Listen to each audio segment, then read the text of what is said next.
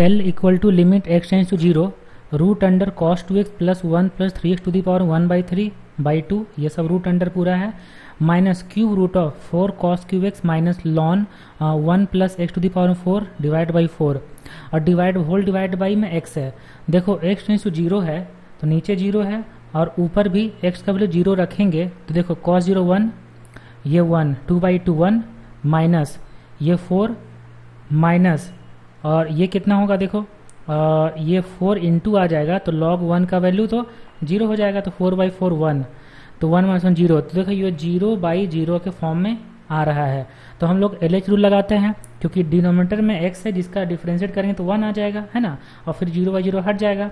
इसलिए यहाँ पे एल एच रूल लगाते हैं जिसके लिए हम लोग को लिखना पड़ेगा पहले limit X tends to zero है। ऊपर में पावर वन बाई टू लिखते हैं।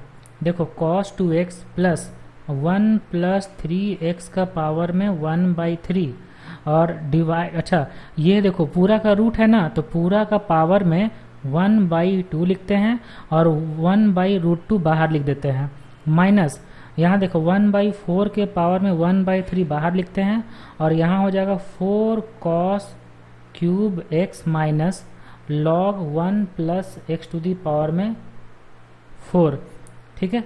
ये हो गया। इसका होल पावर में वन बाई थ्री हो जाएगा और डिवाइड में एक्स है।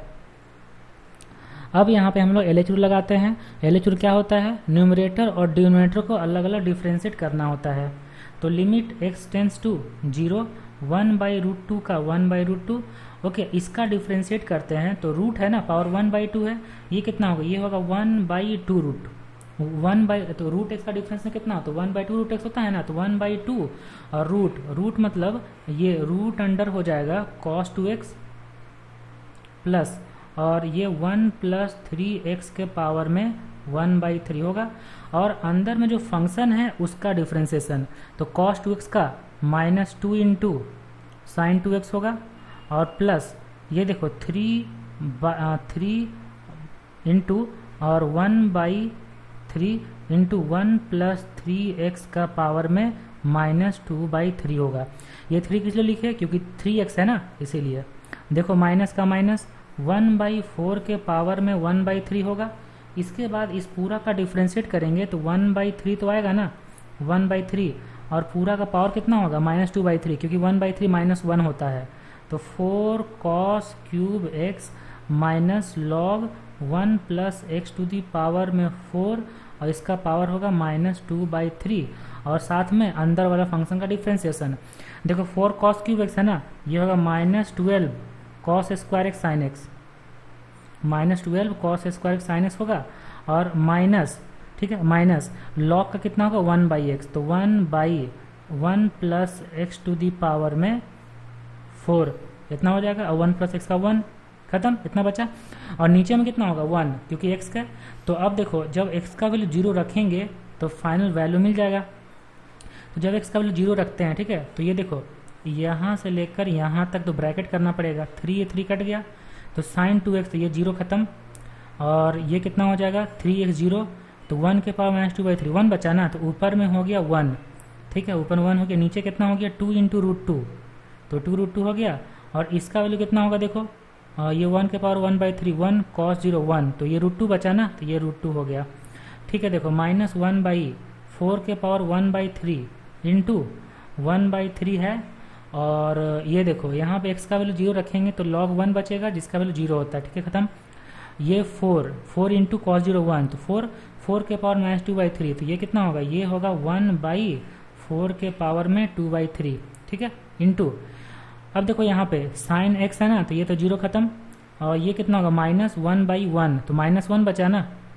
ठीक है, ये हो गया माइनस वन तो ये वैल्यू आ गया, इसको सॉल्व करते हैं तो वन बाई ये होगा फोर ये माइनस और ये माइनस तो बीच में प्लस हो जाएगा, और फोर के power one by three four के power two by three four के पावर थ्री बाई थ्री मतलब वन तो वन बाई फोर ना? तो प्लस हो जाएगा one by four into three one by twelve जब इसको सॉल्व करेंगे तो ये आ जाएगा कितना? Three plus one by four plus one by twelve, LCM twelve आ जाएगा, और four three three plus one. अच्छा यहाँ पे देखो, जब log one plus x two power four है, इसका डिफ्रेंस ना one by one plus two four होगा, और फिर वन प्लस एक्स के पावर में फोर का डिफ्रेंसिएशन ये होता है one four into one plus x के पावर में थ्री होगा, ठीक है? तो यहाँ पे माइनस फोर आ जाएगा माइनस फोर ठीक है? तो वो माइनस फोर और ये नीचे में फोर तो ये आ जाएगा प्लस वन बाई थ्री बचेगा सिर्फ़ ठीक है? प्लस वन बाई थ्री तो जब यहाँ पे प्लस वन बाई थ्री बचा तो इसका वैल्यू देखो फाइन करते हैं। इसका वैल्यू कितना हो जाएगा? One by four plus one by three ये होगा सेवन बाई ट्वेल्व। अब देखो क्वेश्चन में दिया हुआ है कि दिस जो एल है वो ए बाई बी के फॉर्म में है। जहाँ ए और बी रिलेटिव प्राइम है तो ए प्लस बी का वैल्यू बताना है। तो जब इसको हम लोग ए बाई बी के फॉर्म में लिखेंगे तो ए का वैल्यू हो जाएगा सेवन और बी का वैल्यू हो जाएगा ट्वेल्व तो ए प्लस बी का वैल्यू फाइंड करना था। ए प्लस बी का वैल्यू कितना आ जाएगा? सेवन प्लस ट्वेल्व मतलब नाइनटीन तो ए प्लस बी का वैल्यू नाइनटीन आ गया। यहाँ लिख देंगे ए प्लस बी का वैल्यू फाइंड करना था, जो आ गया नाइनटीन यही हो गया आंसर